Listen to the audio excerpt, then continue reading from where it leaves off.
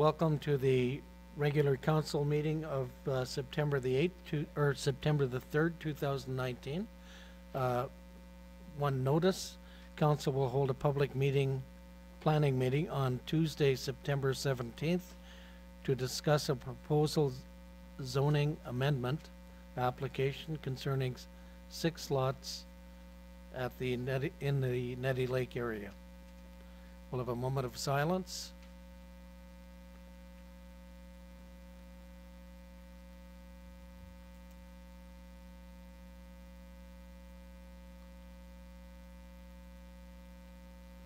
Approval of the agenda. It's moved by Councillor Stacy White, seconded by Councillor Dennis Perrier, that council approves the agenda for its regular meeting held September 3rd, 2019, as presented. All in favor? Unanimous. Passed. Uh, Declaration of pecuniary interest. S- Counselor White. I'm declaring for item six VIII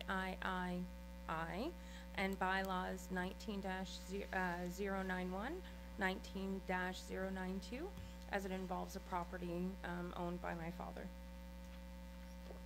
Duly noted. Thank you. Uh, Petitions and delegations. None declared. Acceptance of minutes and uh, recommendations. It's moved by Councillor Dennis Perrier, seconded by Councillor Stacy White, that council accepts the minutes of the following meetings. The inaugural meeting of the Kirkland Lake Recreation Committee held May 8th, or May 9th, sorry, 2019, and the meeting held July 9th, 2019. The 100th Anniversary Committee um, Executive Meeting held August 6, 2019. The meeting to open sealed tenders for the supply of two three-quarter ton trucks held August 13th, 2019. And the regular meeting of council held August 13th, 2019. All in favor?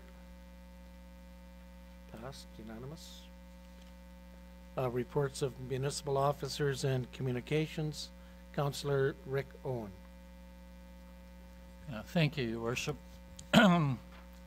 Last, uh, I just want to say that uh, Bob uh, Bannerman wanted to be here tonight, but since his stroke, he's unable to appear in public uh, ceremonies. Uh, causes him a great deal of stress. Um, I first met with Bob a couple of weeks ago, and uh, for those who don't know Bob, he's an internationally recognized artist.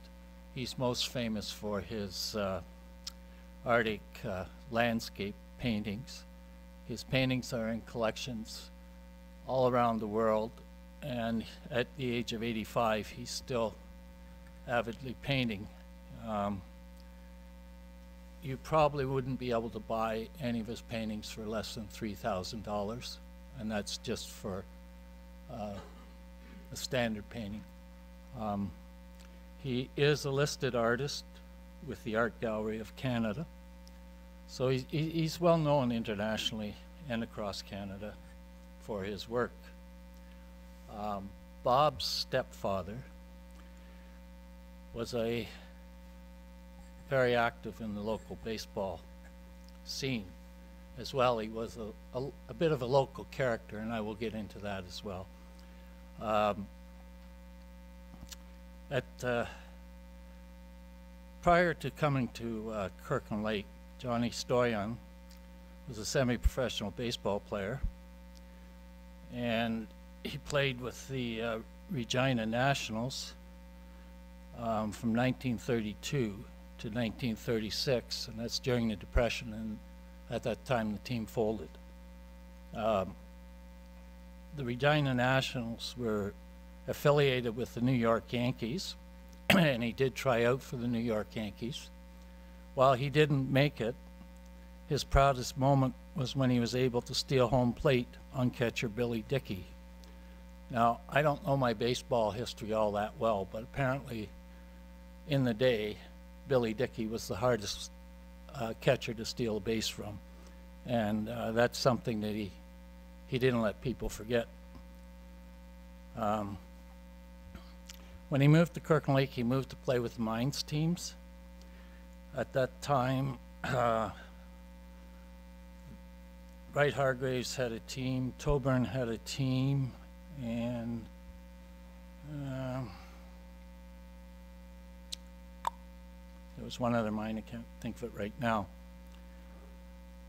When those teams folded, um, Johnny went on to found and, and form the Kirkland Lake Greyhounds, where he was both a, he was a player coach. They won seven senior Northern Ontario baseball titles. Um,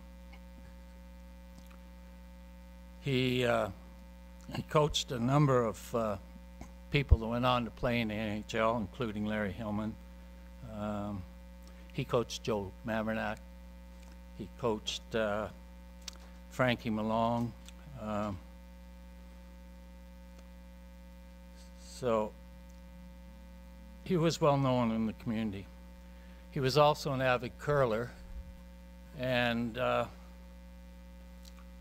would have gone to the Briers except for a man named Ramsey who went on to win. So uh, I don't think that's any shame that he didn't make it to the to the Brier. Um, now to get to, some of the other things. Oh, he also coached Ricky, uh, Mickey Redmond as well. Um, Bob was telling me that on one trip, and this was not unusual, uh, Bob went along with his father as the bat boy. And after the, uh, the game, when it was time to go to the restaurant, uh, the mines hadn't given them enough money for their meals, so Johnny just reached into his pocket and covered all the team's meals. And, and apparently this, uh, this happened quite often. Um, now to get to the, some of the more interesting things. Um, we're not quite sure exactly how short Johnny was, but it was either five four or five six. In other words, he wasn't a big man. He was missing a finger on his right hand, but fortunately for him, he was a left-handed baseball player, so that hand was in the glove. It didn't affect his game. But what I find the most interesting was, in, in addition to being a professional baseball player, he was also a professional gambler. And the whole time that he lived in Kirkland Lake, he ran a gambling room. And Bob said every night his dad would put on a suit, put on a hat, and go to the gaming room. And uh, he only he only got Bob's original in the original conversation, in Bob's words, pinched once. And the feeling was the police kind of turned a blind eye because all the other things he did in the community and in, and for the sports. Uh, oh yeah, it was Lakeshore that had the, the third team. If my notes were in order, but they're kind of like by mine, they're scrambled, so they just come out. Um, Johnny died in 1960, and in 1970, he was inducted into the Saskatchewan Sports Hall of Fame. Um, so he lived in Kirk Lake a lot longer than he lived in uh, in Saskatchewan, and uh, that's that's quite an honor to be inducted into any uh, Hall of Fame. It just shows you the significance he played in that community as well. So, Bob uh, has a, a picture, photograph, of his dad on the bases. He apparently, before every game, he'd go to every base and check and make sure it was placed right and to the right measurements. That was part of his ritual. And uh, from that, he painted a portrait the portrait is valued at between three and four thousand dollars. And he has donated that portrait to the town of Kirkland Lake with the idea of it being hung in the lobby of the Kirkland Lake Community Complex. So Joanne, if you could get the painting now, please.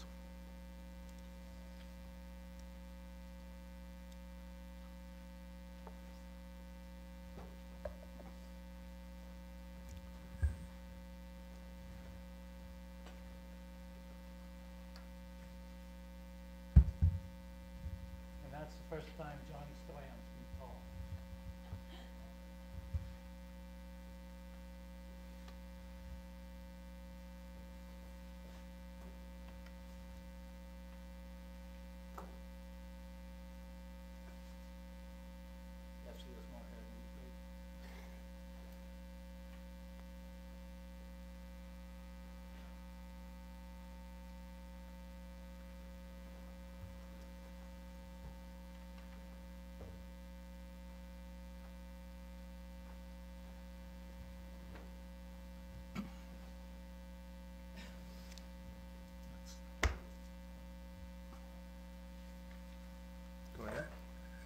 Resolution that uh, I've been asked to read. It's uh, moved by Councillor Rick Owen, seconded by Councillor Stacy White.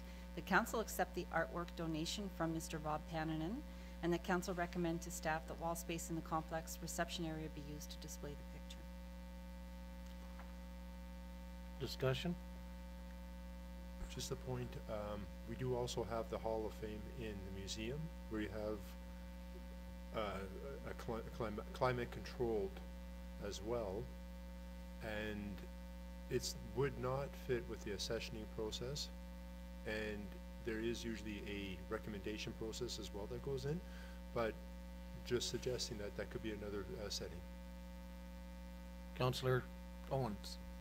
Yes, I did talk to the artist about climate control, and he's not concerned at all about it. It is an acrylic painting with a heavy clear coat of varnish on it to protect it from the environment. Uh, his feeling was that we are losing our sports history, and I kind of agree with him. Um, during this, my discussions with him and with another Kirkland Lake person who was at town hall this year. They both brought up a uh, boxer whose last name was Williams. Like he had a nickname, I forget what the nickname. Kid Williams, yep. Kid Williams. And you know, when I moved to Kirkland Lake in '82, I used to hear stories about him. Now I don't hear anything. And the idea of putting in a complex was that that gave it high visibility. The complex is the recreation sports center in the town, and that that part of our history would not be lost there. But he had absolutely no concerns. He goes to the complex every day and walks. He knows what the humidity is. So he has no concerns about the humidity or the climate, the temperature. Any further comments? All in favor? Passed? Unanimous? Thank you. Uh, hockey, or, sorry, Heritage North interim, uh, facility manager?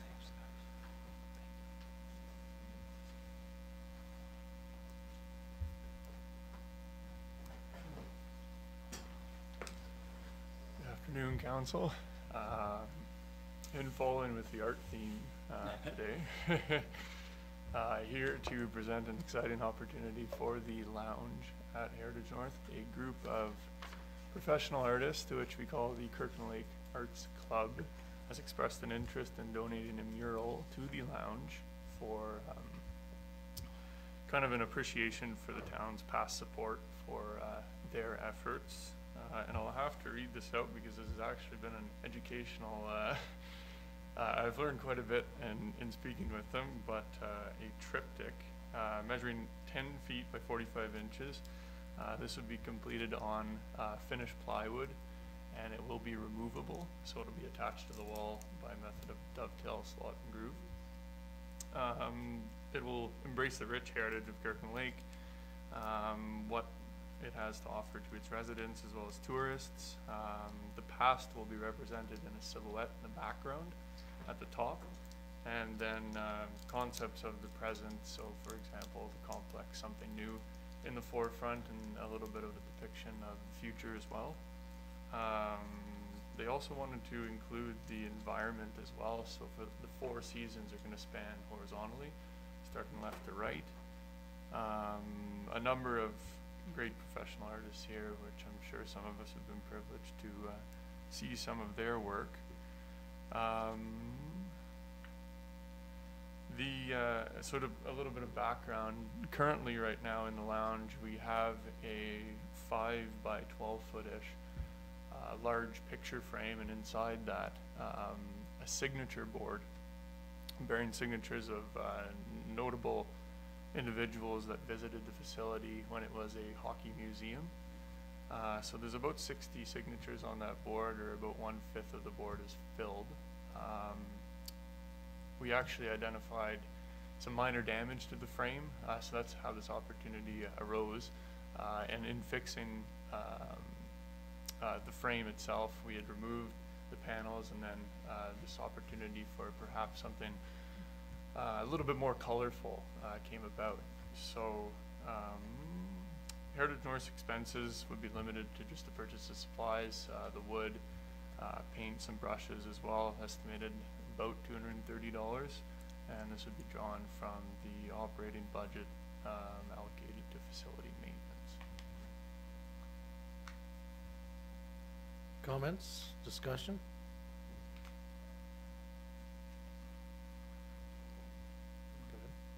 So I have a resolution, oh, sorry.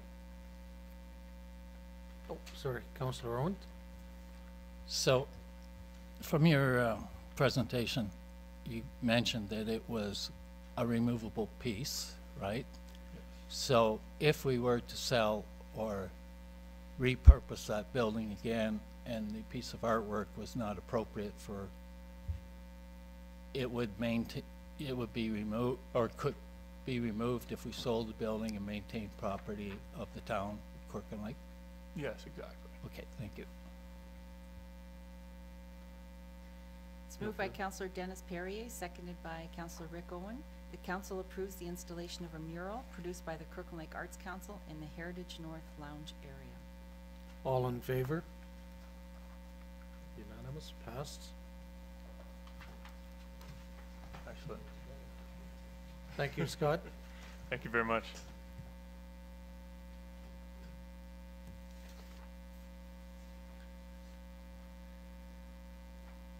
Uh, Sherry, on the two thousand nineteen tax uh, booklet?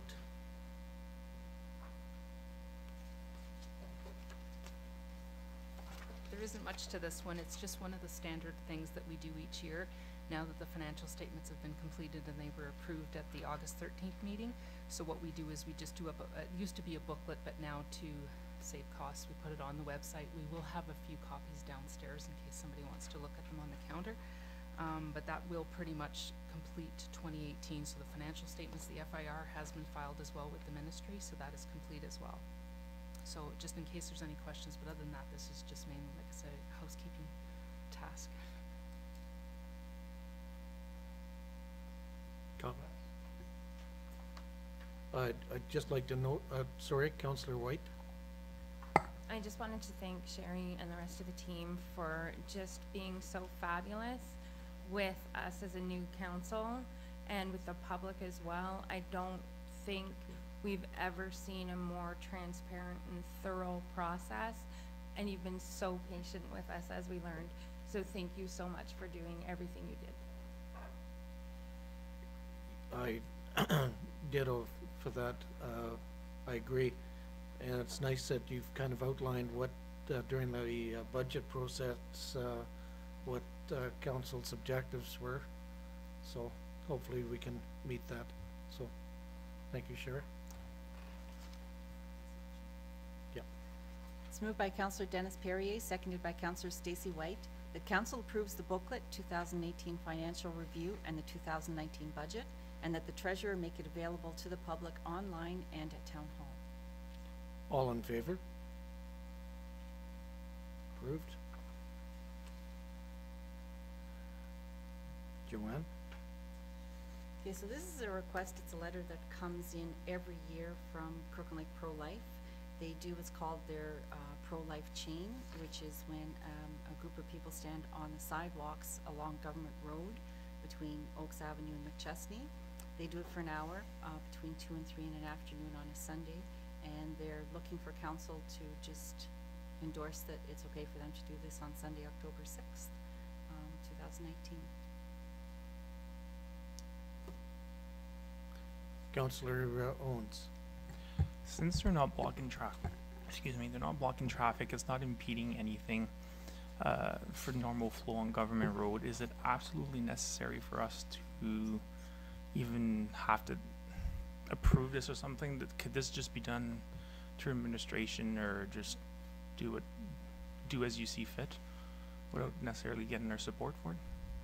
Definitely. This is just, uh, this is something that, that, uh, I believe they probably started many, many years ago just to bring, um, bring, you know, just some kind of knowledge to what they're doing.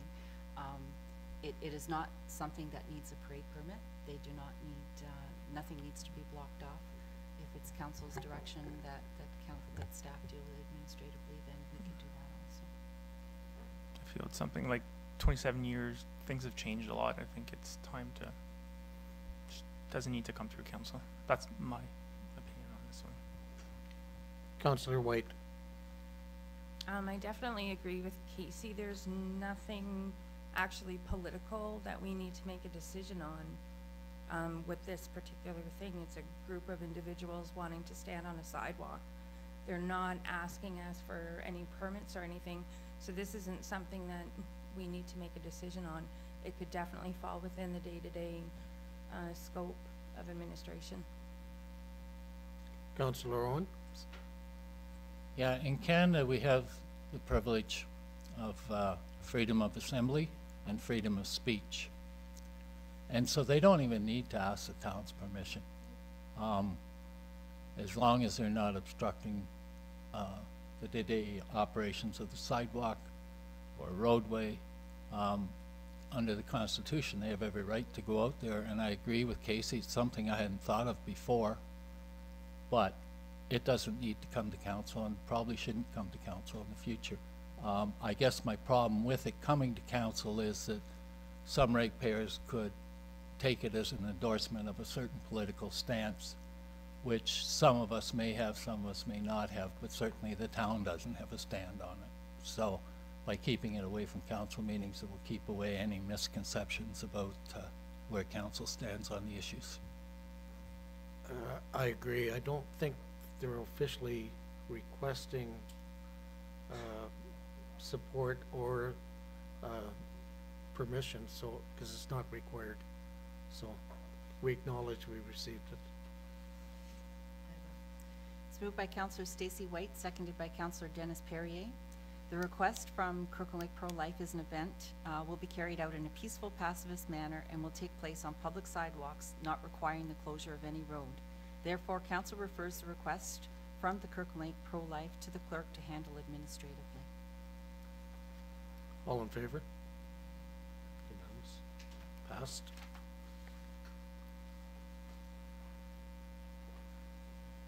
Fire Chief Rob Adair, sole sourcing the truck cap for the fire rescue truck.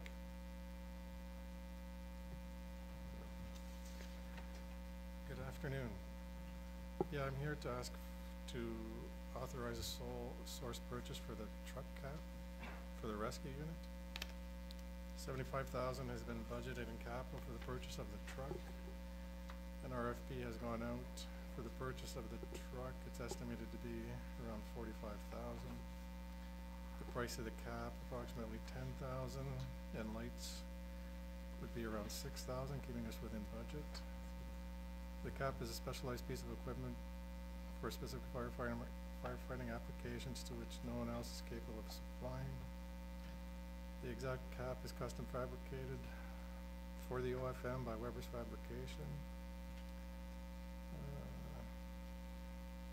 We could write up a request for proposal and find three people to quote on something similar because the cap is custom fabricated specific to the OFM, or we could go with a, a sole purchase.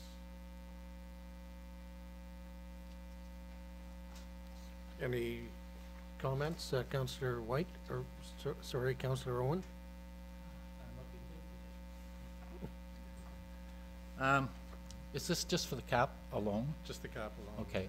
Now, the equipment that you require for this uh, type of vehicle, do we already have that equipment? We already have the equipment. yeah. Okay. Um, Normally, I am totally against sole sourcing anything when it comes to spending the corporation's money, the taxpayers' money. In this case, because it's such a specialized piece of equipment, and I do believe that the approximate price is a reasonable price for a custom fabricated cap, uh, I would be supporting, uh, the idea of going to sole source, sourcing, but don't get excited about that because it's not something I normally do. Don't order the new fire truck, Rob. Yet. Any other comments? Moved by Counselor Dennis Perrier, seconded by Counselor Stacy White, that council approves the sole source purchase of a cap for the fire department three-quarter ton truck from Weber's Fabrication as presented in the report by the fire chief. All in favor? Unanimous, passed. Thank you. Thank you, Rob.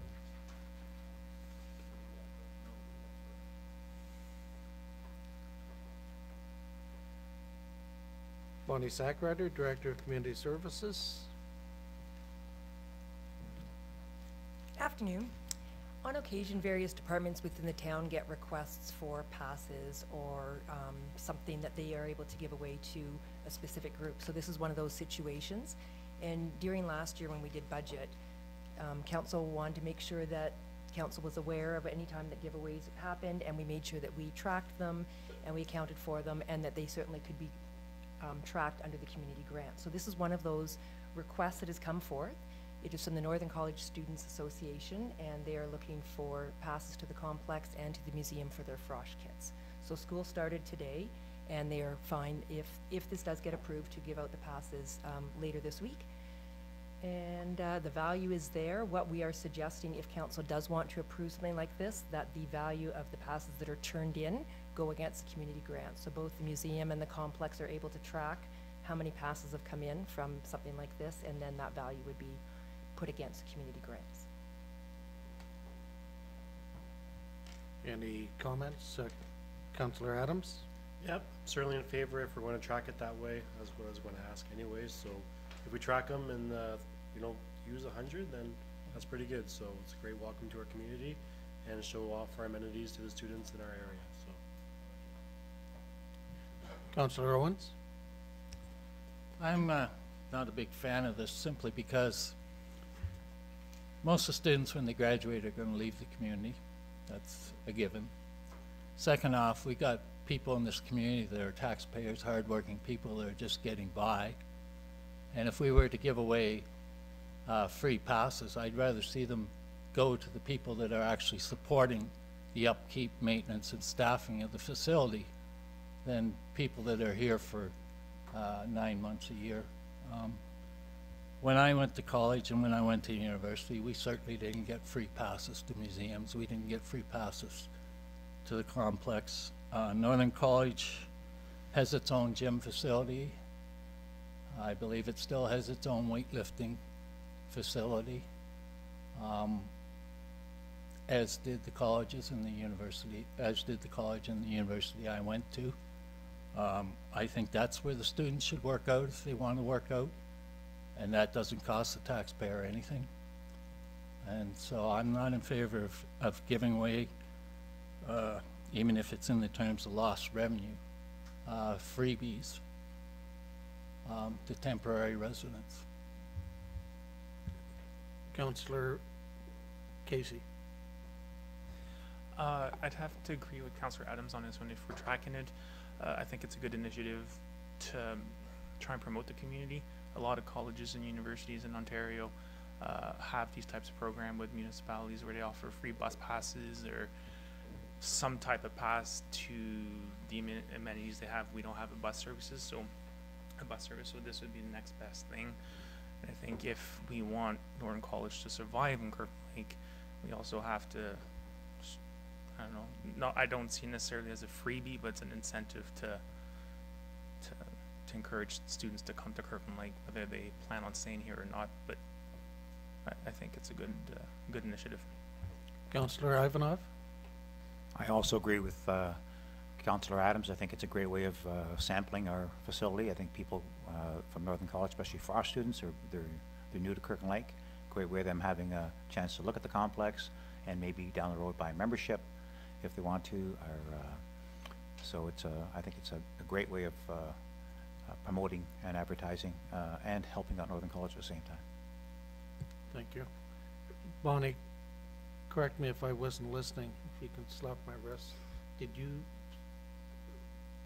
are these tracked as to how many are actually used? We Do will track them, Have they yes. been using the full hundred? Um, In, in the past? They're requesting a hundred, Or so they did do this last year, and, um, we had multiple years that we were collecting at the same time, so we didn't track year to year. We had about sixty that came in over a, probably a three-year period, so. Okay. But we will track them for just, we'll have them dated for this year, so we'll be able to report back to council exactly how many came in at both locations. I, I agree with my fellow councilors that it's, uh, certainly, uh, it's a welcome to the community and, uh, for the out-of-towners coming in and, uh, for the local, uh, students as well to use it. Uh, We do support the college, and we certainly want to keep it here, so I do support it. Any further comments?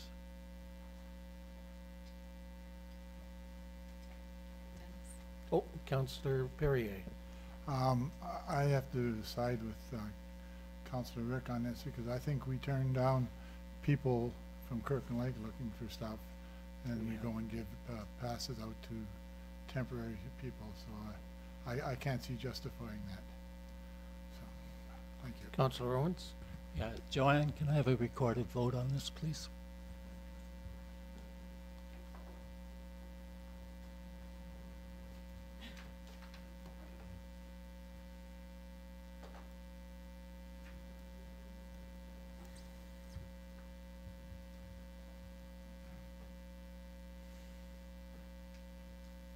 So the motion reads, which is moved by Councilor Dennis Perrier, seconded by Councilor Stacey. This is just to bring it on to the table, this doesn't mean to have. The council approves the request of hundred free passes for the museum and complex for two thousand nineteen yearly college students, and that the corresponding expense be taken from the community grant account of the economic development budget. So we're going to do a recorded vote, and we start with Councilor Patrick Adams, yea or nay? Yay. Counselor Ivanov, yea or nay? Yay. Counselor Rick Owen, yea or nay? Nay. Counselor Casey Owens, yea or nay? Yay. Counselor Dennis Perrier, yea or nay? Nay. Counselor Stacy White, yea or nay? Yay. Uh, Mayor Pat Kiely, yea or nay? Yay. So we have five yeas and two nays, so it passes. Passed as presented. Thank you.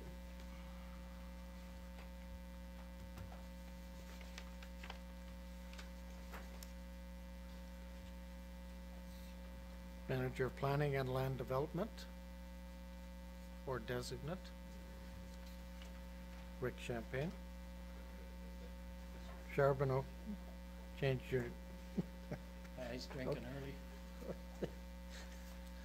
Good afternoon, everybody. So the, my, my first report tonight is to request the, uh, the fall-free residential tipping fees for two thousand nineteen being September twenty-third to September 29th.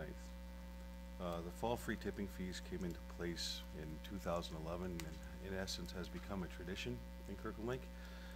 Um, it affords the residents an opportunity to get rid of some of the, like in the spring, uh, get rid of some of their unwanted trash, uh, without the added cost in the fall, some accumulation over the summer.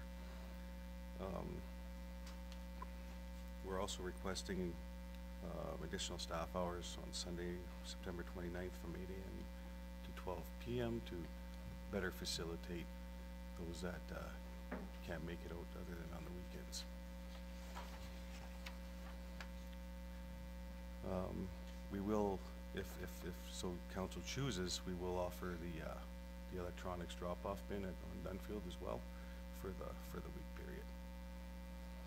So the options are to offer the, uh, the fall free tipping from, uh, September twenty-third to September 29th, or to not offer that. Any questions?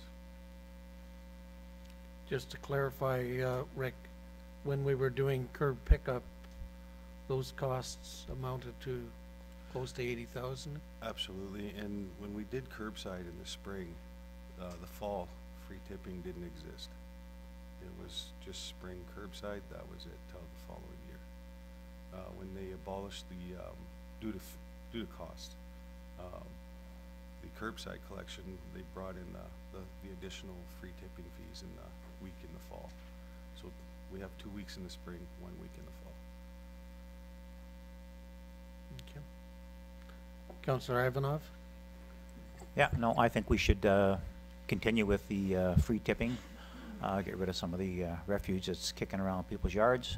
I think uh, it's time that we gave uh, Kirkland Lake residents a little bit back after some of the bad PR we've had in the last couple of weeks. I think this wouldn't be harmful at all. I think there's lots of people that can use uh, the free tipping to get rid of some of this garbage that would be normally sit around till spring and then they'll get rid of it when the free tipping comes in the spring. So I think it's a great idea. Go ahead. It's moved by Counselor Dennis Perrier, seconded by Counselor Stacy White. The council approves fall-free residential tipping fees at the Kirkland Lake landfill site from September 23rd to September 29th, 2019, and that council approves the electronic drop-off event location. All in favor? Unanimous? You're still on, Rick? My next report is to do with the cyclical review of the instrument approaches at the, uh, at the airport. Um, and that council, um, approve and engage Octant Aviation for the amount of twenty-two thousand, two hundred and eighty-three dollars and, s- uh, sixty to perform that. Um, NAV Canada used to be the governing body that would perform this at no charge to, to airports. Um, and it's a subsidiary of Transport Canada. Um, since that time, uh, around 2016, 2017, NAV Canada announced that they will no longer be doing that service for us uh, at all, free of charge or otherwise, and that we'd have to source out uh, companies that could perform that. And wh- what it is is the the airport has three instrument approach landing procedures, uh, two on uh, runway 26 and one on runway 08. And it's a series of, of flight patterns through the circuit uh, that they complete to verify and uh, assure accuracy in our publications, and that uh, ensures confidence for pilots when they fly in and out of Kirkland Lake. Um, we, we did we did go to RFP. We had three submissions. Octant is preferred. Um, they've been here before. They know the airport. Uh, um, and we're, we're pretty satisfied that they'll be able to complete this in a timely manner. We, uh, we do have, uh, through our budget, uh, deliberations, we have twenty-five thousand dollars in operating for this review. Um, so it comes well within budget, and, uh, this is something that we're gonna have to do every five years, so Octant will maintain it, should we hire them, or one of the other ones, they, uh, they'll maintain it for five years, and then we have to go back out to RFP again if, if we don't do this, then we can't publicize what our instrument approaches are. Um, rendering the airport daylight hours, sunny skies, uh, flights only. Uh, these procedures are, are instrument flight rules. Uh, so a pilot doesn't necessarily have to see where he's going. He's got all his, his gauges, his instruments telling him where the ground is, the right trajectory, and every, he can land safely with his eyes closed and take off safely with his eyes closed. If we don't do it, they can't do that. Then It's just daylight hours, sunny skies. Counselor Owen? Yeah, uh, Richard, when was the last time this work was done? Do you This- know? This is actually the first time we've had to go out and hire somebody for it, Okay. because traditionally NAV Canada would do that for us, and they would automatically correspond with Transport Canada, and they'd update our publications at no fee whatsoever to us. Okay, But being a government service, it, it has been downloaded onto the municipality. yeah, yeah. So And you answered my other question. You have the money in the budget. It's not an add-on, so. it's, uh, it's in operating, yeah. I, I certainly would support this, uh, so we can maximize the, uh, revenue out of the airport. Counselor Ivanov? Does this affect your ambulance also, Rick? It, it, it definitely would. Um, we, we get a lot of air ambulances during the, um, the dark hours. Um, and that right there, uh, without this, they, they won't come in. Okay. I support you also. Thank you. Counselor Perrier? Well, basically what you're saying is this is a safety concern. It's a safety concern, uh, for the pilots and, and those involved in aviation. Um, definitely, it gives them confidence, uh, if they can't see the runway, they know if they set their instruments at, at those, those coordinates, they're, they're gonna come in safely and they can take off safely without hitting a tower, trees, mountains, anything that could be, well, there's, there's a couple right in our, our flight path. So it's basically something we really can't overlook then. You can't overlook, not if you wanna run it the, the way we've been running it. Thank you. Any further comments, questions? That'll come back as a bylaw.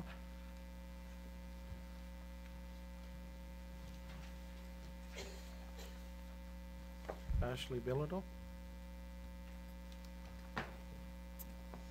All right, I have a few to get through tonight, so I'm going to try and make them a little quicker, and if there's questions, by, by all means, ask away. Uh, the first one is a request to purchase six lots around 17 Hilton Avenue. Uh, the purpose of purchasing the land was to install a permanent water service line over the properties. Uh, we are recommending approval of the land sale. Uh, it's very unlikely that those lots were going to be developed. They are unserviced pieces of land, uh, topographical issues, um, and, and heavily vegetated, vegetated at this point. Um, so at this point, we are recommending that council proceed with, uh, with uh, signing an agreement for purchase and sale with the owners, or with the potential purchasers, sorry. Ashley, is it safe to say, or reasonable to say, this property is basically useless to anybody else It depends on how much somebody would like to spend in order to make it useful. without yeah. spending a small fortune? Yeah, I don't think you're going to see development on those. We did retain, uh, the intent was for the two pieces that are closer to Branch Street to be retained, uh, as those were the most developable pieces in our mind.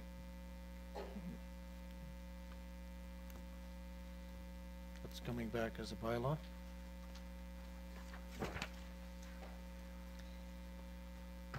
Bylaw enforcement update? Yep. This was a request from council to get an update on bylaw enforcement. I also included property standards as part of this, uh, this update. So, um, since TIPS has started about three months ago, we've, we've had about eighty activity requests lodged. Uh, sixty of them have been resolved, and there are approximately twelve minor bylaw infractions that we're currently working with. There, if you do the math, there's about eight that are outstanding from a, uh, Clean Yards Community Standards perspective, and two property standards, uh, issues that are, are very prevalent that we're trying to deal with right now. So um, I did put uh, a little bit of a table together. Uh, you're going to notice that if you calculate it, the phone calls inquiries received are not going to add up to 80. That's because there was multiple phone calls on maybe one property. So the 80 represents 80 properties. Uh, tickets issued does not include the tickets issued from the OPP. This is just tips. I wanted to also mention that they've also been working on the licensing of all taxi vehicles and um, and sort of patrolling the streets for parking enforcement as well. So as I'd mentioned previously, we have about ten major property issues that we are, that are in violation that we are dealing with. And we did, um, we did commence the, or commissioned the cleanup, uh, of two properties so far. That is going to be back, charged back to the properties of the roll files, or the roll, uh, their tax rolls. Uh, there's one more cleanup pending, depending on, uh, what happens with the, uh, response that we've, or that we get from the owner. Uh, there are a couple of property standards issues that are being reviewed by legal, and their course of action is going to be evaluated by staff to determine next steps. So they're in the works. So there, not, there's no decision to be made. It's just a general update for you guys and for the public to say that we are moving ahead with this. Questions, concerns? Councillor Owen? Yeah, okay, most, most of the action taken by TIPS is complaint, uh, started. Uh, my concern is especially with parking in the wintertime. How much time is, uh, TIPS dedicated, dedicating to the town for, say, parking enforcement along Government Road where we have, uh, those new no, no parking signs up now telling them what months they can't park? Um, how much time are they gonna be spending on, uh, overnight parking, once we have our overnight parking restrictions in place, uh, is, is that, are all these things gonna be just strictly complaint oriented, or do we have a specific, uh, amount of time we're gonna get from them? Because especially the government road one, um, to me, that's a big safety factor. And in fact, one of our firefighters thanked me after we passed that because he said, when you're driving the fire truck, it's, in the wintertime through there, it's very, very difficult. And without cars on that side, it'll make a huge difference for them, make it safer for them. So, um, the overnight thing, I'm not as concerned about because I, I think the OPP traditionally have dealt with that and probably would continue to, but they're being downloaded on too, so they may not have the manpower and, and we may have to rely on tips to, uh, enforce that as well. So I, I, I'd like you to, uh, either answer it now, which I don't think you probably can, which is fine, I understand, or, uh, to come back to an open council meeting with, with answers to those questions so the public will know that yes, we are going to enforce um, because there's still a feeling, I, I get the, in talking to people, I get the feeling that they think they can still get away scot-free. And, uh, I want them to know before they get the ticket that no, that's not the case. So parking is the only one that we would say, s- it, it, they- we do deal with complaints for parking, but they are also actively patrolling the streets and tickets are being issued for parking infractions that don't receive a complaint or an activity request generated. Uh, overnight parking, that's definitely something we spoke of to tips already. Uh, we do plan on having them, especially in that, uh, first couple weeks where those rules are implemented. They, they will be patrolling the street overnight. We have special constables that are also working on that. Um, are we still gonna, like the first few days, give out, Yes. uh, mock tickets just to Yep. be fair to the residents? Yep. Cause they're already upset with us and I don't want them to be really upset with us. It'll be the same process that we've had for years, yeah.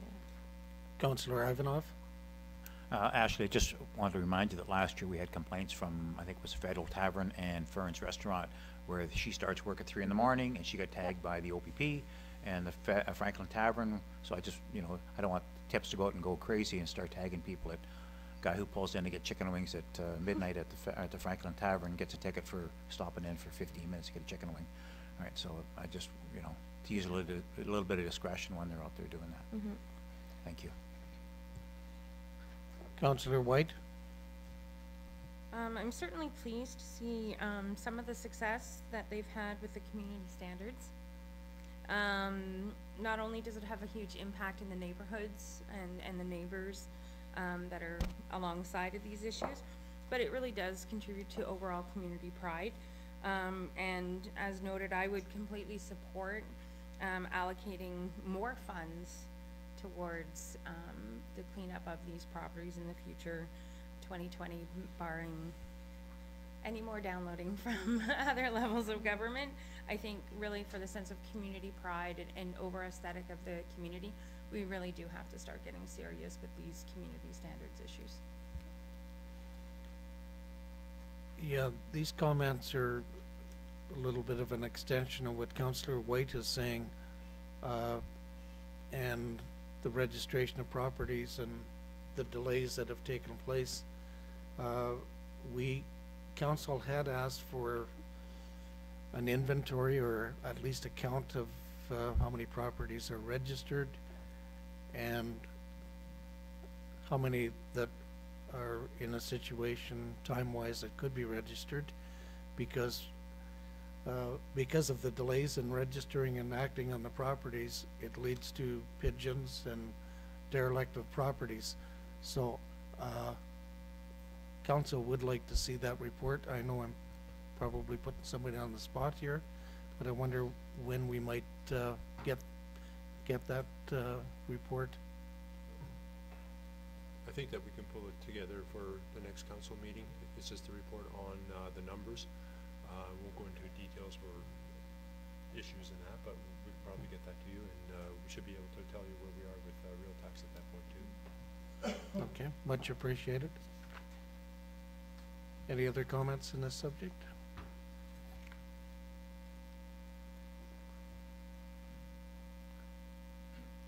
Community improvement plan, I guess, Yeah. or, okay, yep, go ahead. The, um, so the community improvement plan, we did pass that. Uh, the applications, we have not published to the website at this point, uh, because there has been no money allocated into, uh, the community improvement plan, um, budget. So at this point, the community improvement plan specifies that there should be an annual contribution of fifty thousand dollars. We haven't allocated that money in the two thousand nineteen budget. I am looking for some direction on how council wants to proceed with hearing applications. So I do know of five individual companies that have approached me about utilizing this, this application process and wanting more information. I've sort of put a, a halt to it until I get some direction from council on how they'd like to proceed. Counselor White? Of course, this would be one of mine. Um, I would definitely like to see staff work with these companies and bring back a report on the approximate cost that we would be looking at to grant through the twenty twenty budget. And if we could get a head start on the applications so that when the time comes next year, there'd be no fur- further delays for these companies that are interested. Um, that's the way I would prefer to proceed, that we get some solid numbers from your department on what we're looking at. Excuse me, but Counselor, you're suggesting for twenty twenty, not twenty nineteen? twenty twenty, get a report within approx, Mhm. right, with an approximation for twenty twenty, Mhm. so that when we go into budget talks, we'll know approximately what we should be or what we could be coming up I with, if at all believe- possible. I, I believe with the consultants, they had suggested a lump sum and that breakout, uh, we could suggest where we would see most of the demand for that. Would that be, uh, acceptable? Yeah, Oh. yeah. Yeah, and there'll be a couple of these that will not, no longer apply because they're doing the work this summer or this fall. Counselor Owen? Yeah, I just wanted to ask, you, I know we didn't put any money in the budget for this. Um, it was a difficult process, as you're well aware of the budget. Um, do you think we will, any of these, uh, people that are interested in applying will not do the work if they don't get the money this year? Like, they'll just leave their storefront or their expansion or whatever? They're, they're pressed for time. They need to get started on it. It, they would have been nice to get the money is the way that Um, but if we wait to approve money until the twenty twenty budget, will that stop any of these projects? It might hold them for another year. We, we honestly just can't answer that Well, because that's you- everybody individual, yeah. Yeah. No, but I mean, you have a feeling like, I mean, generally speaking, when I'm dealing with somebody that's applying for something, you get some sort of feeling. I'm not asking for something written in stone. I'm just concerned, like, okay, we're kind of between a rock and a hard spot here. We don't have the money. We approved the plan.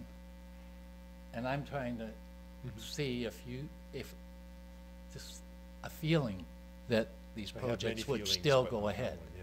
That's all I'm looking for, not something to hold you to, your feet to the fire with. I, I think the other thing too, Counselor Owens, uh, that we should come up with a number in early January, because if the budget process isn't finished until March, or April first, or mid-April, uh, we can't keep these people waiting. It could jeopardize some people going ahead with it, so I, I agree with you.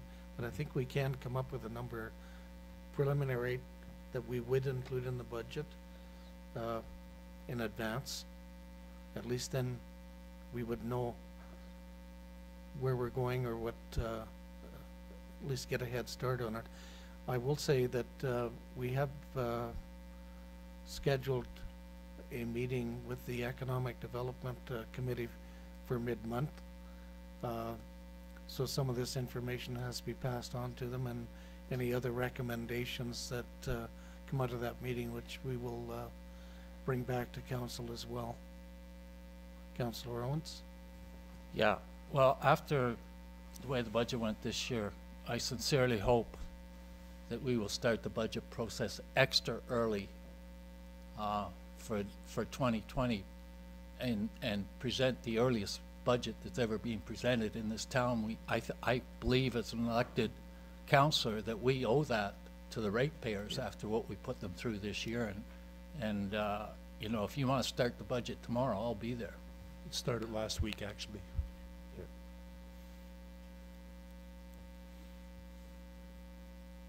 I concur. But for direction, there is no allocations for twenty nineteen, we plan for twenty twenty. And we would propose a, as per the plan, a fifty thousand dollar contribution be uh, as, fifty thousand dollar fund be established that would be used for the CIP for twenty twenty. I don't know if we can put that fifty figure to it yet. I, I Okay. agree with, uh, Counselor White that, uh, it, we need an indication of just where we're going, what we need, what the needs are. But certainly to, uh, in early January to, to, uh, come up with a figure, whether it be fifty or sixty, whatever, mm-hmm. or less. Is that fair comment? I think my only concern is that if you have fifty thousand dollars in the budget, it will get spent. If you have twenty, it If you have will be twenty, spent, it yeah. will get spent. If you have a hundred, it will get spent. A- And, and, and the, sorry, Counselor White? Sorry, no, with these five that have already approached you, this is what I was going after, that if you Okay. have already five people that were like, I wanna jump on board, I wanna be part of this, get that number, because we, the reality is, twenty twenty may be just as difficult for us as this year was, as far as downloading, mm-hmm. et cetera.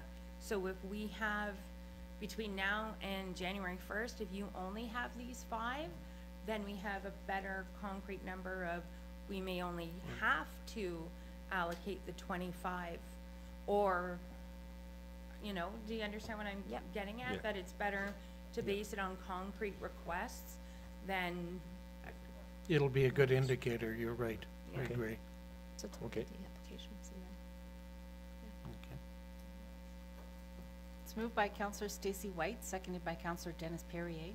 The council has received the Community Improvement Plan report from the Manager of Planning and Land Development and directs staff to postpone all applications to the fund to be considered as part of the twenty twenty budget year, and that a report from staff with more detail be presented to council before twenty twenty budget discussions. All in favor? Passed, unanimous.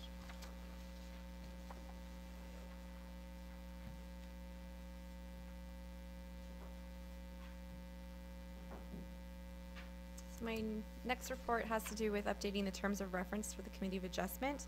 Uh, the committee recently completed training through the Ontario Association of Committee of Adjustments and Consent Authorities, and with that became, or they ended up getting a lot more knowledge on, um, the inner workings of the Committee of Adjustment. So as a result of this new knowledge, they've requested some modifications to the terms of refer- reference. The recommendations are recommended as well by staff to, uh, to council for updating.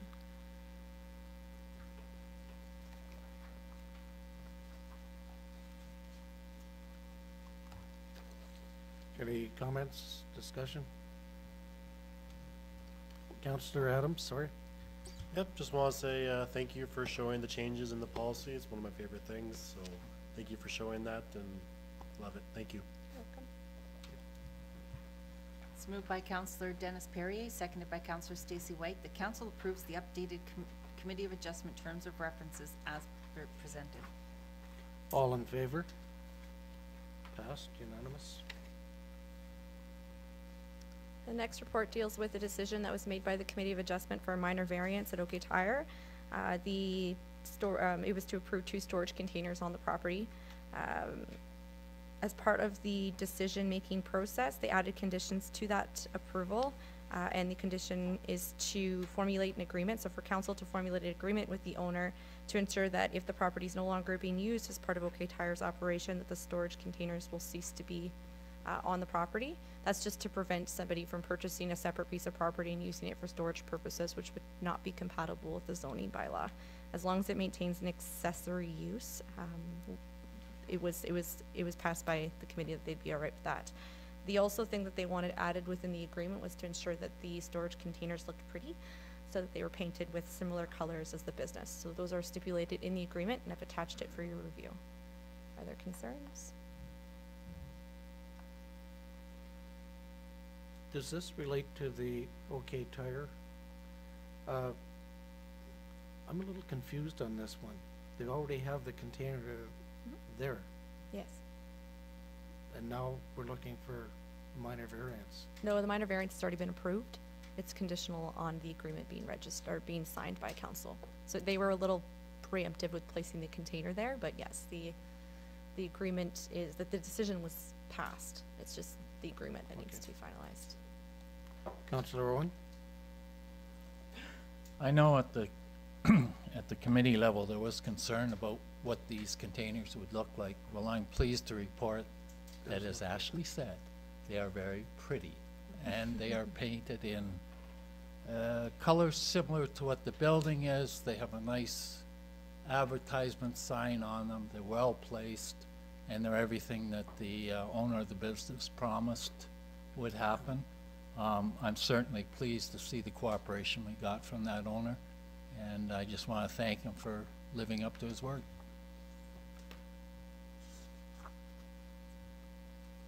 Coming back. Okay.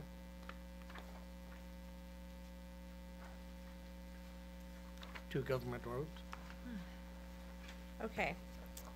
So we received a request from the owners of Two Government Road West. They also own uh, a couple of properties adjacent to that, which is the Park Lane, uh, to waive tipping fees associated with uh, renovating or retrofitting the building into a hotel. So the calculation from what we can gather is about 40 yards of, uh, like, how many, sorry, 200 construction bins, so 240 yard bins of waste in order to complete the project, which results in a total revenue of $84,000. So the request would be to waive $84,000 worth of revenue for, um, in order uh, to meet the, what they're asking. So, not to get into all the nitty gritty of the report, because I'm sure you've already gone through that, um, the recommendation that count, or that staff are making to council was to waive a portion of the tipping fees, so, uh, ensuring that it happens before June of twenty twenty, and maxing out at a total of twenty-five thousand dollars, which is approximately thirty percent of the total amount of tipping fees that they'd be having to pay for. And we're also, um, requesting that that waste be segregated so they can be placed appropriately in the landfill. Councillor White? That is a lot of money for a municipality that really cannot afford it. Um, I have asked and I have looked, what was the maximum we've ever, um, waived in the past? I personally, by searching, came up with five thousand dollars. Um, so that is a, a very large jump, not that, on one hand, we really wanna do, um, what we can for, um, business to come into Kirkland Lake, but that is a very, very large ask. And it's something at this point that I wouldn't be comfortable with because it's so outside of what we set precedent before as a town prior to this. Counts. Go ahead. Well, I think it's what, uh, staff is wondering too, uh, just to clarify, uh, the eighty-four or the twenty-five or both are too high? Both are too high? Okay. Councillor Owen? Well, I don't know, anytime I bought a property, I looked at the property, I knew what I was buying and I knew what I wanted to do, and I had a rough idea what it was gonna cost. And I think any reasonable business person that's buying a property would look at the price of the property, look at the property, um, figure out what his costs are going to be, and then decide whether or not to buy the property. I'm a little, I'm always leery of giving away ratepayers' money, always. And I'm even more leery uh, when we're giving away ratepayers' money to a for-profit business. However, this is a double-edged sword. Because if that property comes back into the hands of the town and we have to tear it down, we are probably looking at, from what I've heard, a million dollars. Uh, having said that, if I was to approve any, vote in favor of any discount at all, I think Stacy has brought up a good point. In the past, five thousand dollars has been the ceiling. I think, uh, when we subtract the five thousand dollars, we're still getting seventy-nine thousand dollars in revenue from the building. I could probably live with that, even though in principle I, I don't agree with it. but because I don't want the town to get the building back, I could live with it. But I, I certainly would not go above, anything above five thousand dollars, and I do that reluctantly. Counselor Adams. Um, helping businesses, that's why we kind of already voted to, uh, have a community improvement plan, was to help businesses, uh, with these kinds of things, and it would come back as to increase value of the assessment, which comes back to more money into our pockets, so it's a small give and take, we have the program, uh, we just saw in our last one that, uh, people are already applying for help to, uh, get their businesses going, so that we can, uh, in the end, as what we voted for, was to get the money back through increased assessments. Eighty, eighty thousand dollars is a little bit way too much. Um, so certainly, even in the report, it says should council approve this request, Missouri Bank recommended that approval be conditioned upon a time frame and monetary cap, so kind of the discussion on the monetary cap is around five thousand. Uh, what kind of time frame is recommended at this point? Suggesting June, June twenty twenty. Um, we, we would suggest, uh, till the end of June two thousand twenty. Um, if council sees fit, that, that should be pushed back to possibly till the end of August twenty twenty, we'd be okay with that as well, but there should be a, a definite, definite time cap on it. So that would be, they would have until June twenty twenty to do all their demolition and set aside, or to get things started, Uh, to actually get everything out? get everything out of there and and use the approval. To, to use the five thousand dollars Yeah, worth. Yeah. So if we're looking at moving the community improvement plan funding approval to around January, which is fifty thousand, this could possibly be one of those applications that can be decided upon, Possibly. which is, which some of our recommendations. But Counselor Ivanov. Yeah, I I think, that- I mean, if the demolition had to take place, you're looking at a million dollars for that building, I'm sure maybe more. And I think we should give them an incentive to try and get this building renovated and fixed up. And I think giving them a reduced tipping fee, uh, and I would say that we would have them tip at, say, two-thirds of the regular rate, uh, which would still generate a fair amount of uh, revenue for the landfill, but at the same time, give them an incentive to get this thing uh, done. I wouldn't just hand them five thousand bucks or ten thousand or twenty-five thousand, say, you know, whatever the tipping fee normally is, we'll charge you two-thirds of it, and you pay that, and at the end of, uh, whatever, June twenty twenty, uh, that no longer applies, you get, have to pay the full pin. That would be an incentive to get their ducks in a row and get that building, uh, fixed up. And I think at that time, we would generate some extra tax revenue from having that building. And um, I think at the same time would help this organization and get the Park Lane building uh, into a condition that uh, uh, people could actually live in it. If I may comment, uh, I do agree with uh, Counselor Ivanov. I would be prepared to support up to a maximum of twenty-five, using maybe the two-thirds formula. I am deeply concerned that million-dollar figure is probably not too far out of whack. It's a big risk exposure to the, to the town.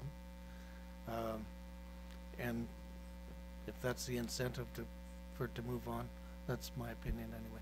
Uh, Counselor White. Is it possible to provide this kind of incentive in increments?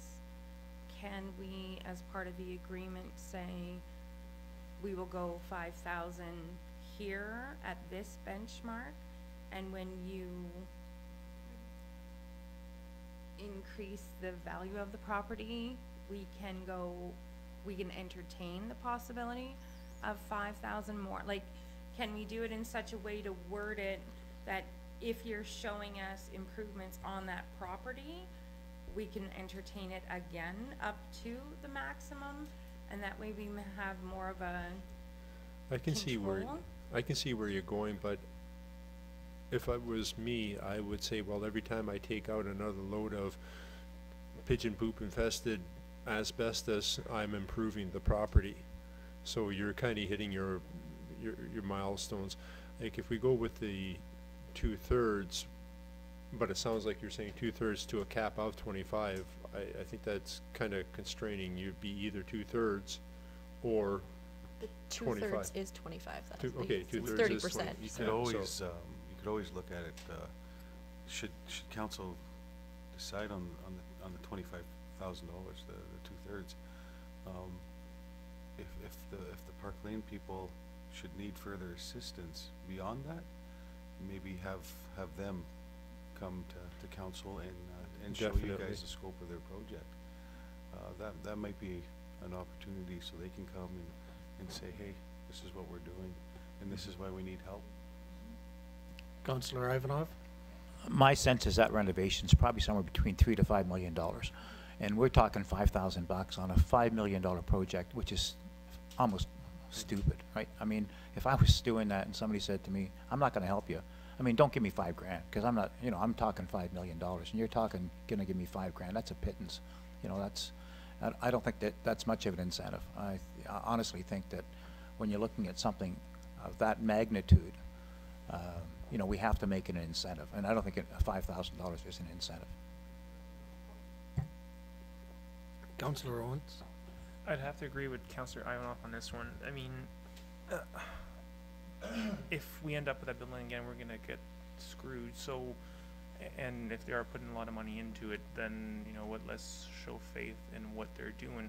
My only concern is, is there gonna be, once all this garbage starts coming out, is there gonna be extra cost for us at the landfill with this contaminated stuff? Or is that assumed by them? Um, the, the extra costs, uh, not necessarily, uh, extra work for the, for the contractor, absolutely. Um, to have to process the waste, um, the, uh, it- it'll take up a large space in the landfill, but that's neither, uh, the way I'm thinking is neither here nor there. They came and decided to, to, to pay for the tipping fees, It's gonna happen the, anyway. the, it's gonna happen, it's gonna happen, right? So we still have to deal with it in the landfill perspective. Um, we will be asking for like the segregation, which is like scrap metals, go scrap metals, any freon containing appliances that are left in that building that they wish to dispose of, they won't be exempt from the applicable fees, cause we have to, we have to pay somebody to take the freon out of these before we dispose of them, anything that's freon containing air conditioners, refrigerators, and the like will, will, will still be charged an applicable fee for each unit. Um, or it could be taken off that, that twenty-five thousand dollars. You also are looking at multiple months. So if you're looking at what you're doing in twenty nineteen and what you're doing in twenty twenty, January, ask them to come in, make a presentation as to where their plans are. They've had the first shit, uh, hit of, uh, what's going on. You can then see whether or not, yeah, I got that. Um, you can see whether or not that's going to, it comes when you learn German first and then English. It's very difficult. Sometimes it comes back. Um, to see what their plans are if you wish to extend that into the, the next year. I, I agree it is within the CIP parameters. It's stretching it a little bit, right? But, uh, it's really going to stretch a budget, but at least then you're, you know, right now you're deferring revenue, revenue, as you had said with the other issue. It's not something you like, but you're giving them a, a start. Sorry. I do agree, it, and it kinda goes back to what Counselor White was saying, it's, it's like a progress advance, uh, for approval. Uh, I, I could live with giving them ten or fifteen thousand, then come back in January. Let's see how far they're going. Counselor Owen? Um, I kinda like, you know, Eugene's idea, it's something I hadn't thought of. And, uh, that's why we have discussions at the council table, so we can all get our ideas out. But I like the idea of charging them, even though it's well above the five thousand, two-thirds of the tipping fee. That way, we've got revenue coming in all the time. We're not doing all this and having no revenue come in. Um, the other question I have is for Rick. Um, how are we actually licensed to take that toxic waste that's gonna be coming out of there, or does that have to go somewhere else? How do you mean toxic waste? I'm talking about the droppings of the pigeons, to say it politely. I don't believe poop is toxic, but um, that would be up to the health unit to determine that. Um, if there's any asbestos and things like that, that's, they have to do their asbestos abatement and things like that. We, prior to us to, to accept that kind of waste, but, um, for toxicology, um, mold and mildew and pigeon poop, I don't believe that's harmful.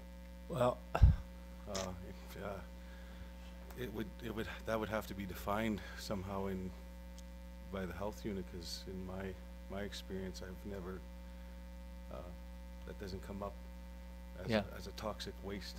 well, I'm just, I'm just concerned about what we can and can't take at the dump before we Yeah, jump on uh, board here, because, The MOECP won't, won't see that as a, as a hazard. Uh, um, They see hazardous waste as, it's a, it's a whole different criteria. Um, Anything in that building, I haven't been in there, but I would assume there's nothing in there that would be uh, deemed hazardous unless it's uh, some kind of uh, solvent, if you will, or, or something like along those lines. But uh, pigeon, scat, and mold and mildew would definitely not meet that criteria. I'd like to see something in writing before we start accepting that, because I know working in those conditions, you have to be, uh, specially dressed and whatever, and there has to be a reason for that. Um, and the other thing you mentioned was the asbestos. Um, the little I know about it is that you have to remove it. You need a, uh, I know we had done it in Northern News, you need a licensed contractor to come in. It all has to be, uh, packaged in a certain way and it all has to be sealed off, but it can go to the dump once it's handled properly. Uh, so another concern I would have is that, um, hidden amongst the other garbage is gonna be a bunch of asbestos, which could potentially put the employees at the, uh, at, at the uh, landfill site, um, in, in, uh, public health situations, because asbestos, as long as you don't touch it, is harmless. It's only when it is airborne, and again, it requires special ventilation masks because the, the little sharp pieces that are in the air are so fine, they go through the regular, uh, masks. And I, I, I- but having said all this, I, I could support uh, Eugene's idea of two-thirds, because it gives us revenue all the way along.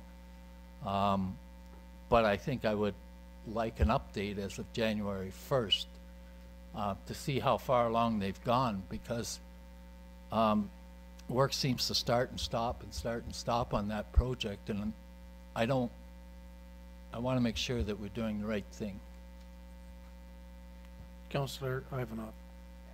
What I like about the timeline is if you make it two-thirds up until a certain date, then at least you have, there's an incentive to get it done quickly. And instead, of like Rick says, it stops and starts. If this, if there's an incentive to get it done uh, by June 2020, well, there's the incentive. If you get it done by then, great. If you don't get it done by then, you're going to pay full tipping fees after that fact. So it may be, that may be the incentive they require to get that thing uh, cleaned up.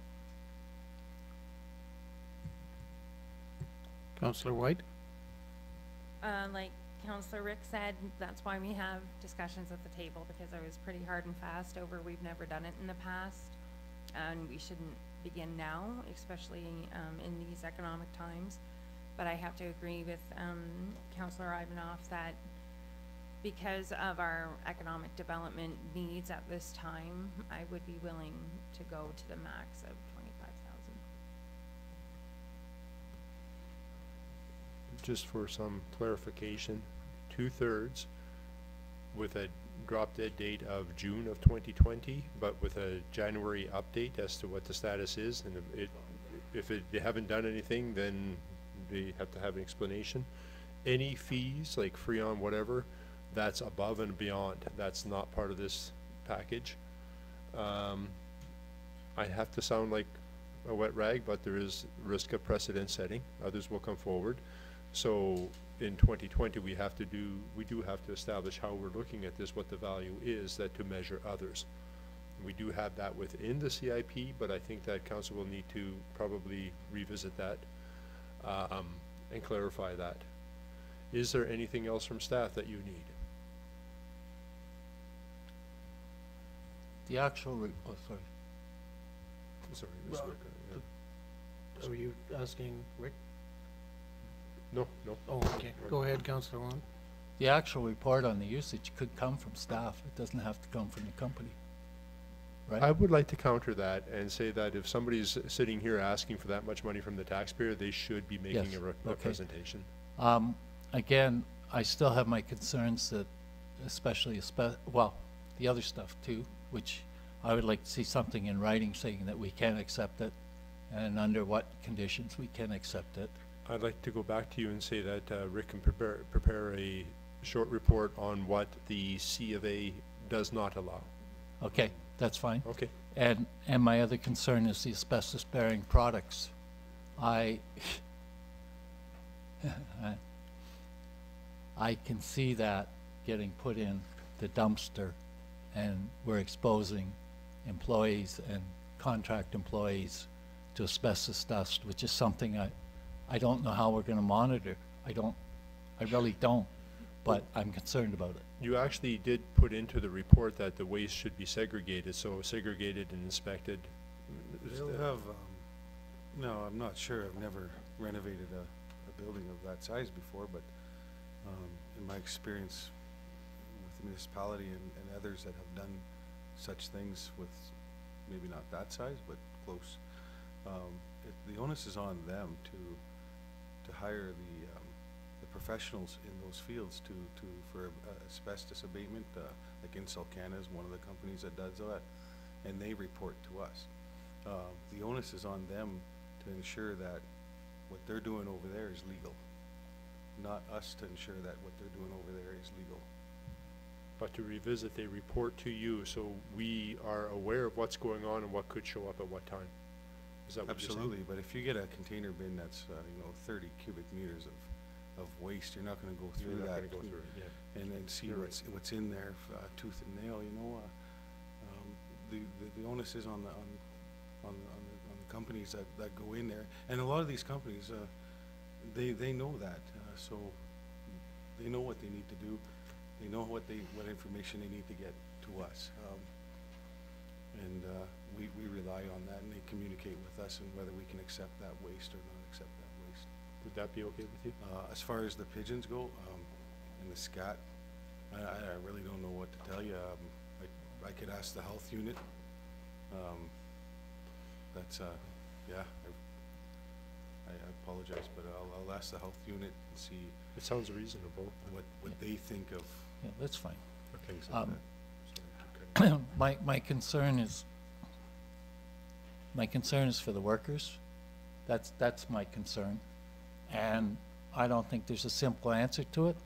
I can tell you that about ninety-eight to ninety-nine percent of nine-inch by nine-inch tiles have asbestos in it. Um, any spray-on ceilings from about nineteen sixty backward, maybe a little later than that backward, there's a good possibility. Same with drywall mud. Um, my concern is a health concern. I'm, I'm not concerned about whether they're in compliance. I'm concerned about putting workers at the landfill's health in jeopardy. That, that's my concern. What we could do is, um, I mean, if they, if they try to go around disposing of that stuff improperly, if you will, um, we can do spot checks on what's being brought out, and we will do spot checks on what's being brought out. But legally, they need to hire a company that goes in there that specializes in, in, in that abatement, and they go in with the proper PPE, and they, they, they, they have to double bag things. They let us know in advance, and then our contractor has areas ready for it to be buried right away, and things like that. But we, we will be doing spot checks. Councillor Ivanov? Yeah, my guess, Rick, is with uh, a, a, a project of that magnitude, Department of Labor is going to be there. They've been at that building already. Absolutely. And uh, my sense is they're going to be going through that building with a fine tooth comb to make sure these people are, are in compliance. And I, you know, I think we can worry about all this stuff, but I think, you know, there are provincial uh, organizations that are uh, commissioned with that uh, to make sure that's taken care of. And I, you know, I think we can drive ourselves crazy trying to follow up, but I, I think there really is somebody there that will look at that. I know they, they have been there already. They shut the project down already once, so I think they're going to be in there uh, watching those people, so. Uh, routine inspections, building inspectors. Common, uh, I think it'll be very common, especially with a building, uh, with that building and that project, uh, the size of that project. Any further discussion? Counselor Adams? So the twenty-five thousand dollars, so does that come out of the operating budget for this year, or how, how does that fund? It's deferred, and that's what I was looking at the treasurer for too. I'm sure that she would love to have some kind of, uh, consolidated number as we get close to the year end. That will come from Rick. Um, I think that you may actually think, it may not be surprising to see the company rush forward and hit that twenty-five thousand dollar limit before, no, before December anyway. Right, because if they're actually looking at eighty-four thousand dollars worth, there's probably quite a bit more. Likelihood is they'll use up what we have already. That's why I suggest two-thirds charge, so they pay as they go, it's not a. It's, it's not a freebie where they, Mhm. you know, they have to go, they have to continue to pay, so it's not gonna be where they get twenty-five thousand bucks and then you don't get anything. You know, use up twenty-five thousand and stop fixing it. So if you charge them all the way along, the, the incentive is to continue, uh, cleaning up and to do it at a, uh, quicker pace. And with the tipping fees and that, you're able to handle that, or, okay, because then you need to co- uh, coordinate with Treasury on it, we can report back to that. Um, I think that as you see it progressing, that January, uh, presentation to council, perhaps that should be done in December, so we have a better year-end conclusion. I'll talk to, uh, Treasury on sorry, Mr. Adams. Counselor Adams? So it's just that for fifty thousand dollars, if this were to be part of the community improvement plan and we just let this one happen, that's, that's half of it. So the other applications, we have no idea what those applications were, and we're just doing that twenty-five, so the process that we voted on would be for this to go to the Economic Development Committee to decide, so the application comes in, it's reviewed by staff, goes to Economic Development, uh, their input is required, and it comes back to council for a decision. So is this kind of following that process? No, it isn't, and, uh, had it come forward just straightforward, I would not bring it forward, because it already exceeds the entire budget, and, uh, there, um, I think that, I'm, I'm sorry, I'm just trying to collect my thoughts, I saw your hands going up. Um, based on the impact on the municipality, I think it's right to bring it to council to decide whether you even want to entertain it before sending it to a committee to discuss and then chew over. So that's when we had that discussion at, uh, in, in staff as well about the whole process here. In lieu of actual CIP in place, we went this route. So the other ones that made the application through the community improvement plan, are they going to be told that they can come to council and get approval this way as well? I don't believe that anybody put an application in. It was inquiries as to whether or not, uh, the, uh, the, the fund was open. And I think that, uh, i- if we do open the CIP as an actual program, it should go through that course. Um, again, I would ask that if, when we see a very exceptional one, uh, maybe, oh, I don't know, Boeing is going to come and build a, a jet factory here, we bring that one to council right away, so we have guidance on it, but Counselor White? Sorry, I don't see this as part of the CIP program, um, because we do waiving of tipping fees without the CIP program. So I believe this was separate from that specific, um, program that we knew we had no money for this year. Um, I definitely see it as an operating hit from that department, so that's where maybe, um, Patrick and I disagree a little bit. I would argue you're not disagreeing, it's, like I say, it, it's an exceptional case. It's kind of the stuff, but it's not the stuff, you know? It's, Um, it's, a- what- it's a, it's a relatively new request. Um, traditionally, we would, you know, grant tipping fees, free tipping fees and, or waivers, if you will, on, uh, on residential areas that were demolishing building, uh, houses. Um, but this is a complete, uh, gut renovation. It's a, it's a little unique, so it's, it's relatively new. I, I, where Counselor White's coming from, I, I have the same concerns, because if it, if it, if the amount we uh, decide for the CIP, uh, is fifty thousand and twenty-five thousand of it's being used up, it's wiped out half of it already when we open the, no, This No. is different. We have in, well, former council has in the past waived tipping fees for businesses. Um, the property at four seventy Government Road West, as a business, was allowed, um, was allocated that five thousand. Um, so I do see this not as part of the CIP P. program at all. This is something different that we've set precedent, the town of Kirkland Lake has set precedent before by waiving fees for companies. This is not a CIP to me at all. And that prevents it from setting a precedence in the future then. Hmm. Councillor Owen? Correct me if I'm wrong, but I seem to remember in the CIP that there was a maximum figure Yeah. That each business could get, and I believe it was five thousand dollars, was it not? There's also exceptions within the CIP that if you want to go above and beyond, it has to go to council for consideration. So the, I, I see where he's coming from as well, because the CIP does actually stay within it, that the user fees can be either reduced or eliminated as part of the community improvement plan. But again, we have that provision that if there's exceptional cases where it's going to make a big difference, council has the ability to go above and beyond Yeah, but a normal amount. CIP our maximum. application, the maximum Is per 5,000 project per is project. five thousand dollars. Yeah. And we're looking at a lot more than five thousand dollars here, and we're looking at an extraordinary case and the effect it could have on the, the ratepayers and, and the downtown atmosphere. So I think it was right to bring this to council first. And uh, it's important to note that because of the uniqueness of the request and when it came in, that's, it's not something we, we planned for and budgeted for accordingly.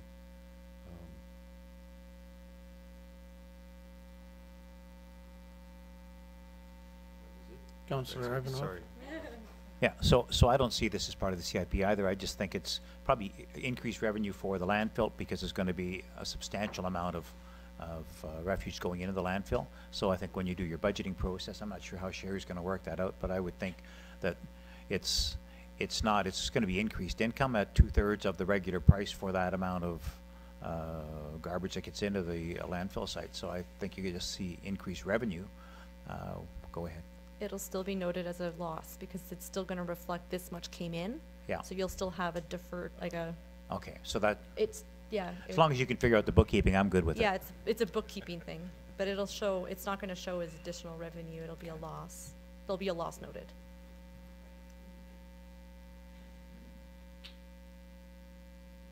Counselor Adams? I'm only confused on the CIP, uh, just, uh, section six point six, building renovation improvement grant, which specifically speaks to this item. It is a CIP issue, but I understand completely as to that this is a lot larger, and that's why it's at this point. But six point six, building renovation improvement grant is very specific to, uh, these types of items.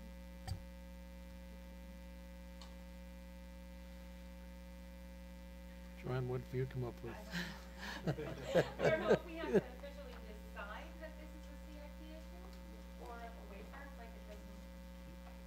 Council Trump. I, I, I think we're both thinking the same thing. You don't have a CIP in place right now, Yeah. right? So this is your, a case before the, uh, the council to decide and, yeah, and you're carrying it forward. Okay. I have a motion that's moved by Councillor Casey Owens, seconded by Councillor Dennis Perrier. The council has received the report, request to waive landfill tipping fees for the ri- revitalization work on the former Park Lane, and direct staff to implement option two as presented. To be completed no later than June twenty twenty, to offer two-third tipping fees to owner with maximum town contribution to twenty-five thousand. The waste is to be segregated and an update be brought back to council by the owner in December twenty nineteen. We comfortable with that? Any further discussion? All in favor? Passed.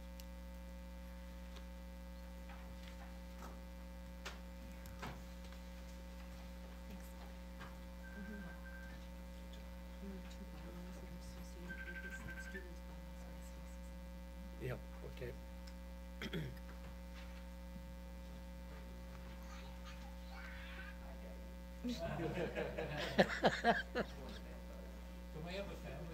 Yeah. I have one more report. Okay, so the last report I have to present is a request to purchase from Gary Hodgins for five hundred dollars. It's a corner lot, it's a fifty by forty lot, so not, not developable by any means. Uh, Mr. Hodgins brought in fill to slope the property in a safe manner and has since maintained the property by cutting grass. It's this is since the, I think it's the eighties that he's been doing that. Um, that's why we're recommending, uh, approval of the five hundred dollar price tag. So typically when we sell land, we are roughly selling for about seventy-five cents per square foot when it's an addition to a property. Um, this is a slightly reduced rate because of the work that was done on the property for, the- for the amount of years that he's lived there. So we are recommending approval of this, um, of this purchase, um, and declaring the property as surplus land. Is there questions? I would support, support that. uh, I'm in close proximity to that property and, and uh, go by there daily. Uh, Certainly, he has maintained, maintained that portion that he's looking at buying, and that strip of land is basically useless to anybody. You could never build on it. It just enhances the size of his property. So, and the fact that he's kept it, uh, maintained it, leveled it off, and, uh, cut the grass over the years, several years, uh, the reduced amount, uh, is reasonable. Any other comments? Joanne? These are, we have two bylaws that are associated with this property, and since Councillor White has left the room, I thought it would be good to do the two bylaws now.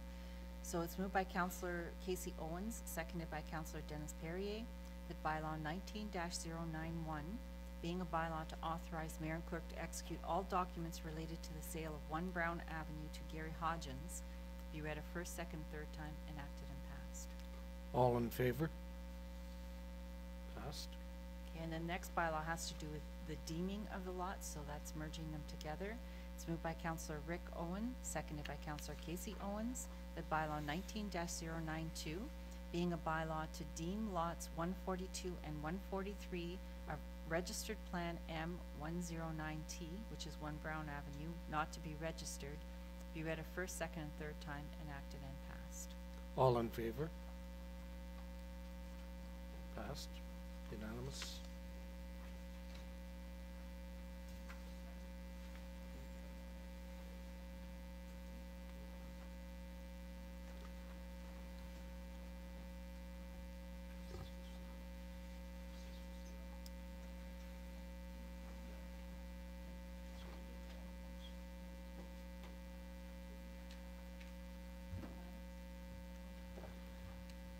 Reading and consideration of bylaws. It's moved by Counselor Casey Owens, seconded by Counselor S- uh, Dennis Perrier, that bylaw nineteen 86 being a bylaw to authorize mayor and clerk to execute an agreement with the Center of Geographic Information Systems, CGIS, to provide spatial land information management system services, be read a first, second, and third time, enacted and passed. All in favor? Unanimous. It's moved by Counselor Casey Owens, seconded by Counselor Dennis Perrier, that bylaw nineteen 88 being a bylaw to authorize mayor and clerk to execute all documents related to the sale of lots on Hilton Avenue to Josh Fuller, be read a first, second, third time, enacted and passed. All in favor? Unanimous, passed.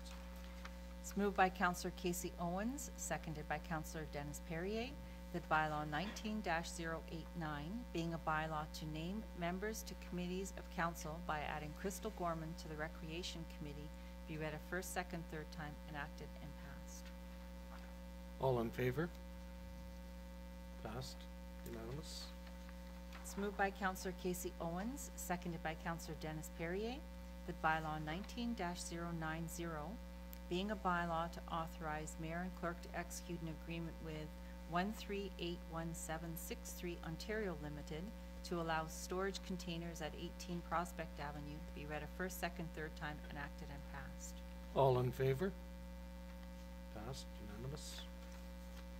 It's moved by Counselor Rick Owen, seconded by Counselors Casey Owens, that bylaw nineteen 93 being a bylaw to authorize mayor and clerk to execute an agreement with Octant Aviation, Inc.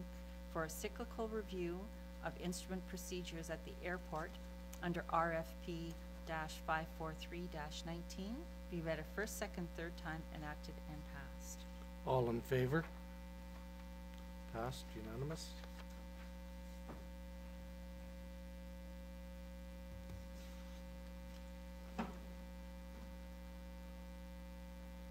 No questions uh, from councillor to staff. Uh, notice of motions. None declared. Confirmation bylaw? It's moved by Counselor Rick Owens, seconded by Counselor Casey Owens, that bylaw nineteen 94 being a bylaw to confirm the proceedings of council at its meeting held September third, twenty nineteen, be read a first, second, third time, enacted and passed. All in favor? Passed unanimous.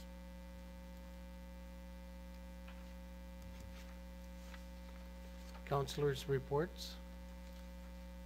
Counselor Adams? Yep, so, uh, at our recent DSAB meeting, August twenty-first, uh, one of our, uh, items on the agenda was the funding increase of uh, forty-two thousand dollars for a project for the additional renovation costs at the new Liskeard Stepping Stone Daycare. The increase was required because a tender was made on an opinion of probable construction costs. This type of quote has a list of exclusions that is specifically not budgeted for. Class D estimates, all over it. Um, pretty much at this point, uh, what we have done is we gave direction to, uh, staff at DSAB to come up with ideas as to how to prevent these things from happening again.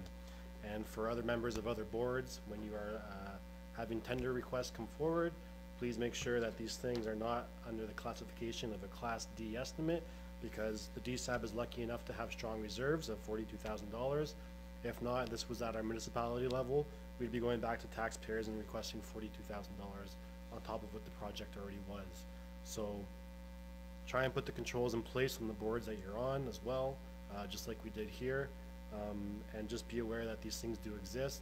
It's nothing worse than coming back and, uh, seeing that there was a list of exclusions with the, uh, tender amount, so, uh, just be careful out there to other counselors on the boards that you sit on.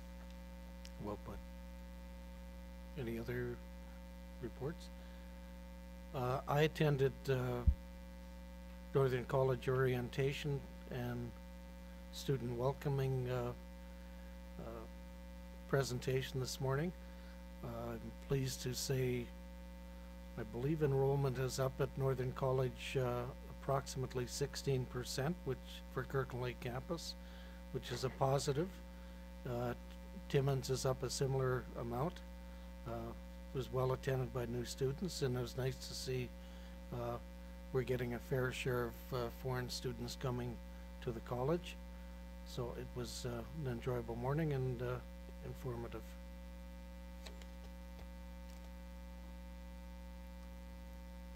Adjourn?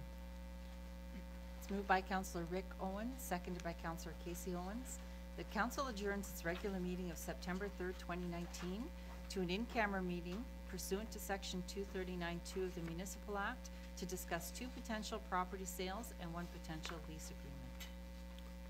All in favor? Unanimous? Adjourned?